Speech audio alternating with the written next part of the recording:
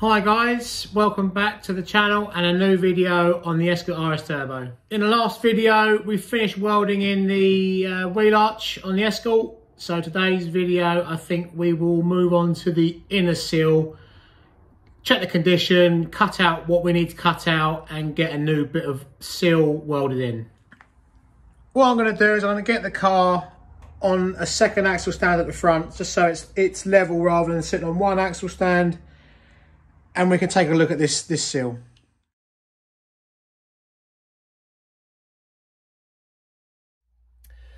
So first things first, I need to get this door card off before we damage it because it's, as for these door cards go, it's actually in quite good nick. And then I need to strip off all the paint. Let me just turn you around. Didn't need, didn't need to turn you around. It was actually in the right the right angle. So what I'll do after that is I'll strip all this off here, get all this paint off of here, and uh, clean it up, see where like the, the spot welds and stuff are, because that's the back of the new piece that I let on back here.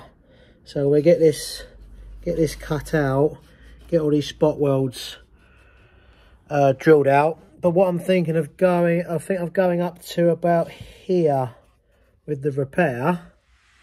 Because that will take us to here which would then cut away all this grot.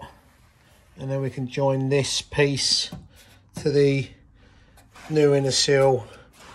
And once that's joined we can then get that piece on as well. So I mean the rest of this this just needs a bit of a clean up. This is this is still relatively good. Tiny bit of bu bubble in there, but I think if we treat that, that'll be fine. And I've got, obviously, we've got to look at that section there as well. So what we'll do is we get that card off and then we start cleaning it up. As you can see, guys, this is the first time I've ever attempted to take the a door card off of a Escort RS Turbo. So I faffed about a little bit finding the fixing points and the clips, but we got there in the end without breaking anything.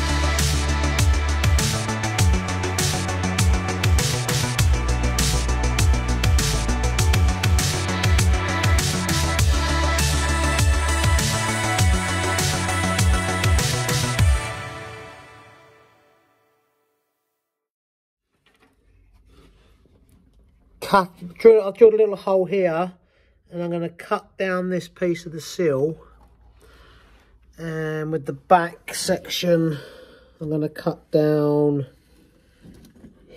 here where that plate in the inner plate there that you put in just going to come up through here. And then when we come to put the up the new sill on we'll overlap it and then we're do the same where we cut an angle and then we're cut and butt the new piece in so it all ends up flush. So what I'll do now is I'll get this cut out and then we can uh, cut the new piece of sill in or cut the new piece of sill up and lay it in and see how it fits.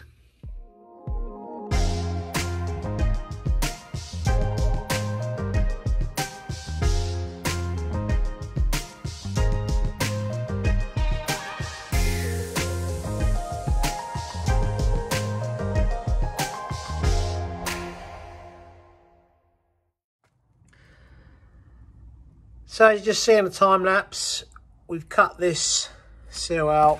You can just see it was starting to go between the panels. And this edge needs a clean up in the fact that I got to grind I got to grind these bits off. And then I'll beat it straight and we'll see might have to let a little section in in places. Um, but I think here we'll have to have a repair section. Because it's starting to go between the two laminates of uh, of metal there look. So I think that's another little repair section.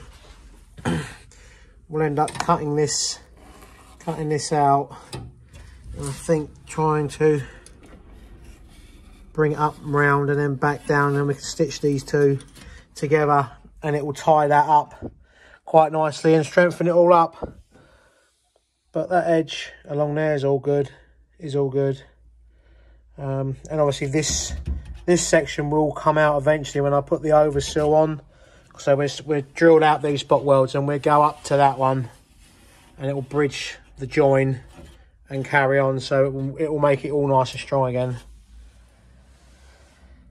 So what I'll do is I'll get this ground up and I'll come back in. So I've given that clean up and there is a couple of sections I'm gonna, oh hello Jerry, little shop cat coming through. Come that way, your tails, mind your tail. Come on, boy. How many of you guys got a cat that comes visit visiting you when you're working on the car? Come that way. Right, so yeah, so I where I was. Right, so we clean this up, and there is a couple of sections I want to um, just cut out here and definitely back here. But what I've actually also done camera is cut this piece out the sill and that should go in there nicely and hopefully line up with the original marks original sort of um what's called them um, strengthening uh marks in the in the sill so what I will do is I'm going to cut this into place first before I cut anything out on the floor here. Just so I know that's in position um, and pretty much ready to go. And then I can look at doing this front edge here. And then we'll probably drop back and do the floor section under here in another video. But I think in this video we're concentrating on getting this piece in so I'll get the drill out with the cutting disc in and we'll give the give the front and back sections uh, a go with the cut and butt again and hopefully they're letting they'll be letting nicely pretty much seamlessly so I'll get it all ready and I'll come back so I've got it clamped into position now and what I'm going to do is I'm going to cut down cut down here and through here to let this piece in and the same with the back. So I'll drop it on the time lapse and we get that cut.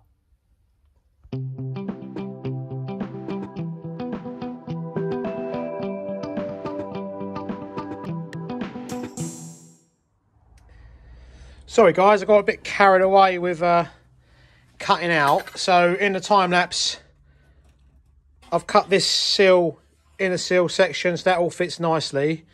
And I came to this lip section and then uh, just decided to cut the whole lip off and then cut a bit more section out there um, where is it is that the piece yeah that was a piece there. That, that came out of that came out of there so I've got to make a new piece to go in here. Um, but I managed to cut this so it fits in there. And then we make something here. But we may not I may not make that section in this video because there's a bit more floor repair to on that back edge. So if I get this piece welded in and then we trial fit the the inner sill and uh, we'll see how that all comes out so I'll get this welded in and uh, I'll drop back in. So that's that lip now welded in and I've given it a coat of weld through primer. So what I'll do now is I'll line up the sill and um, put some holes in it for spot welding along the bottom and we'll have a go at welding her in. Back in a sec. So the inner sill is, is clamped into place. As you can see, got a little bit of excess there, so we can cut this excess off from that lip once it's welded once it's welded in but it seems to line up quite nicely through here we'll have to pinch that together and then we can tack we can get that welded in down there. And the same with back here. We get that welded in. I've got to just pull it forward a bit to line up here. To line up on this section. And then we can make this but that'll probably be another video this this section here. So for now we get this welded in and that tacked up. And it should be nice and strong again right move back on some time lapse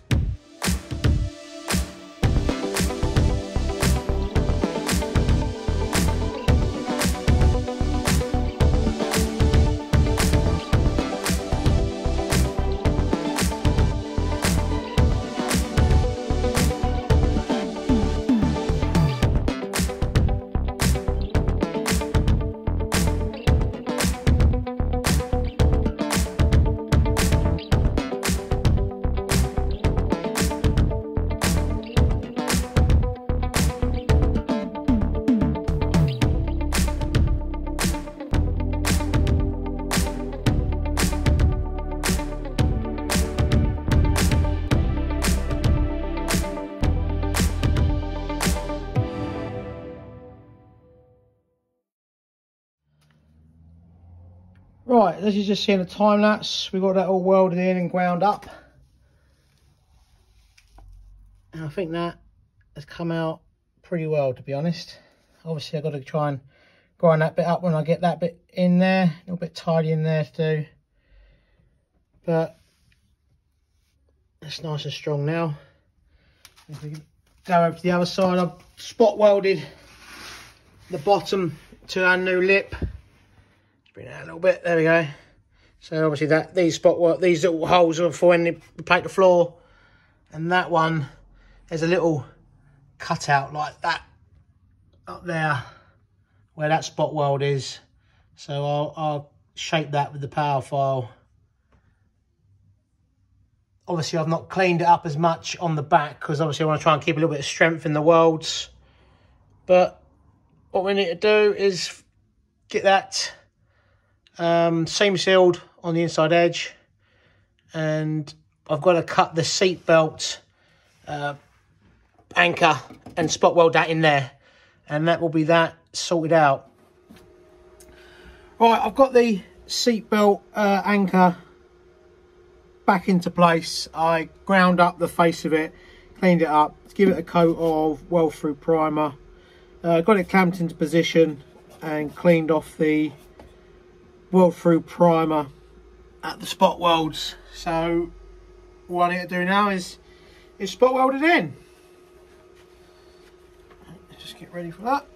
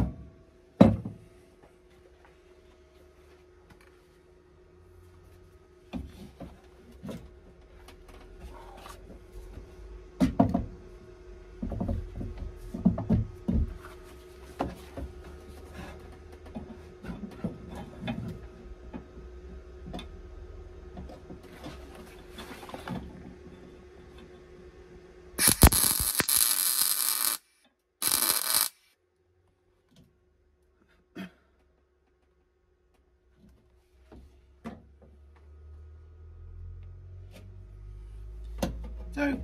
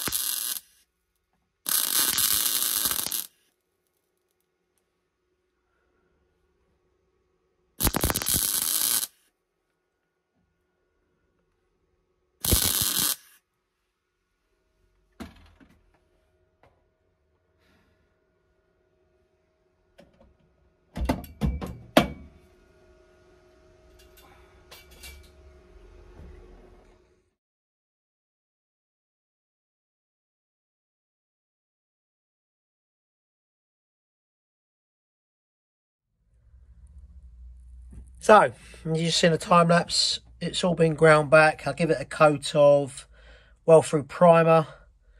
And that looks pretty good to me. I may end up putting a little skimmer filler over over some of the little bits where I've ground it back, but I'm quite pleased with that so far. I'll just show you the outside where, where the plate, the seatbelt bracket has been welded in. I've given that a coat of um, well through primer as well. So I'll just jump out and show you that. There you go. There's the outside of the uh, seatbelt bracket, all nicely welded on. Primer's still a little bit tacky. But it's another little job jobbed. So guys, I think that's all we got time for for this video. The inner sill has come out better than I expected actually. Um, we managed to chop it in quite nicely and to make it pretty much seamless apart from a little bit of body filler potentially but it's under the carpet so you won't really notice it. But I'd like to thank everyone for taking the time to watch the videos and um, becoming subscribers because it does help grow the channel. So if you're not a subscriber do please consider smashing the old subscribe button. It does help uh, build the channel and I'd also like to thank you all for all your comments on the last video, um, especially with the help with what I'm going to do with the front wing here. Um, quite a few of you come up with the same answer, so I believe I'll be uh, taking that on board and giving it a go the way that you guys have suggested. So thank you very much, guys. I hope you enjoy the content, and I'll see you in the next one.